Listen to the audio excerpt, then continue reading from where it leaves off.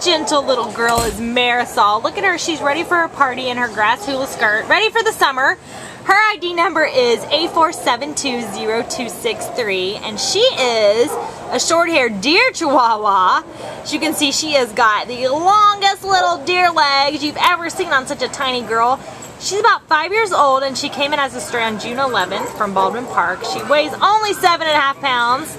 Um, so she is a small, dainty little girl, and she is a ready-made lap dog. As you can see, she is just comfortable sitting, enjoying her day from the comfort of your lap, and she definitely prefers that over a leash.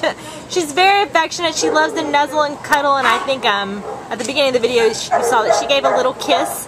Um, she's good with dogs her size. You know, we probably wouldn't want to put her with, with big dogs because she only weighs seven and a half pounds, so we don't want them to overwhelm her. But she's just got a good, sweet, gentle energy. Um, we think she's going to be good.